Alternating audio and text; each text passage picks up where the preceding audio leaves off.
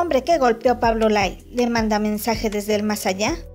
La vidente Zulema Arroyo Farley se presentó en el programa Un Nuevo Día y ahí realizó un trabajo de contacto con Juan Hernández, el hombre que golpeó Pablo Lai y que falleció como consecuencia de ese golpe. La especialista aseguró que Juan Hernández desea que su familia esté enterada de que él se fue de este mundo tras el golpe que recibió, ya que el ataque fue tan contundente que desde ese mismo instante perdió la vida. Además, no solo habló sobre su muerte, sino también de la personalidad de Lai, a quien Hernández supuestamente tachó de conflictivo.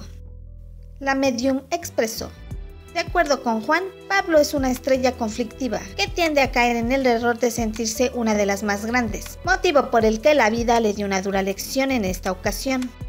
Zulema explicó que Juan Hernández le comentó que el hecho fue muy intenso, además de que no es la primera ocasión en la que el actor tiene esa clase de conducta. Añadió que Juan nunca tuvo en mente irse de este mundo de forma tan agresiva, ya que siempre se encargó de obrar bien.